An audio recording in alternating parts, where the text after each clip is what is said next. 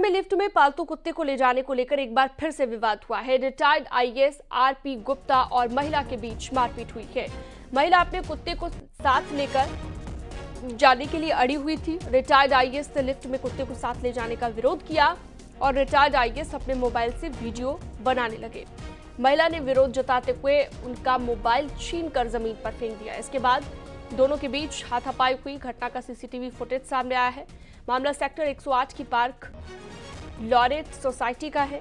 थाना सेक्टर उनतालीस police CCTV footage के आधार पर जाँच में जुटी हुई है।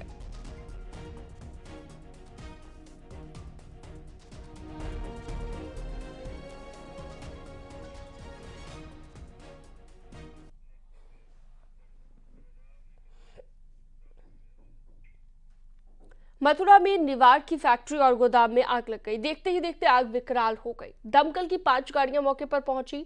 कड़ी मशक्कत के बाद आग पर काबू पाया गया।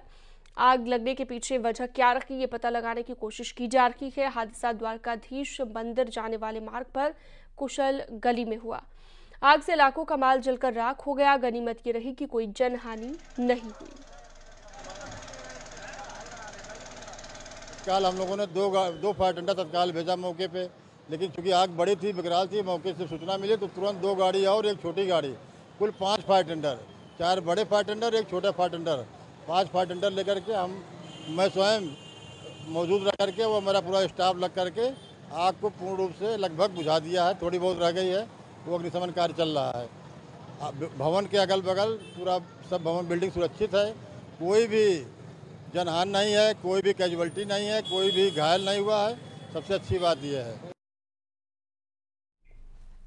कानपुर में गाड़ी का, गद्दी और एक्सेसरीज बनाने वाली फैक्ट्री में आग लग गई। मौके पर पहुँची फायर ब्रिगेड और आग को बुझाया गया। गोविंद नगर थाना क्षेत्र कृष्णा पार्क के पास की घटना बताई गई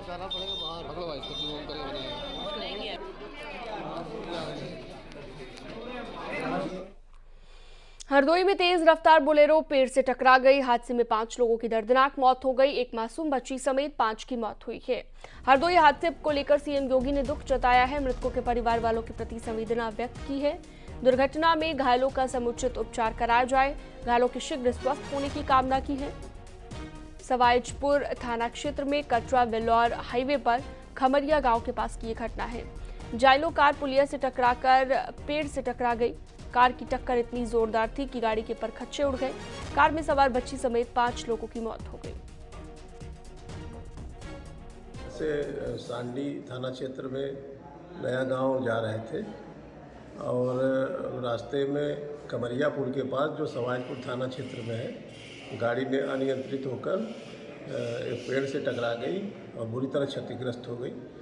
और इनमें सभी घायलों को सीएससी सवाजपुर ले आया गया, जहाँ पे इनको मृत घोषित कर दिया गया है।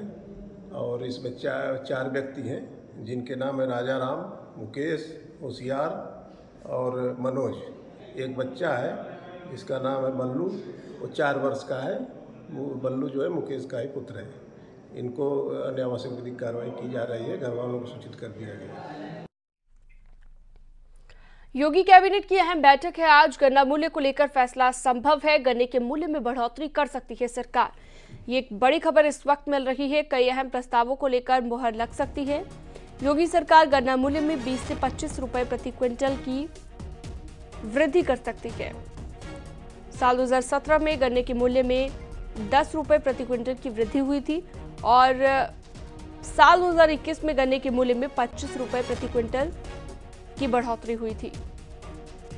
योगी सरकार ने बीते छह सालों में गन्ना मूल्य में पैंतीस रुपए प्रति क्विंटल की बढ़ोतरी की है और अब सरकार तीसरी बार गन्ना मूल्य में बढ़ोतरी कर सकती है। फ़िलहाल यूपी में गन्ने की रिजेक्टेड प्रजाति का 325 रुपए प्रति क्विंटल मूल्य है। सामान्य 340 और उन्नत किस्म के गन्ने का मूल्य 350 रुपए प्रति क्विंटल है।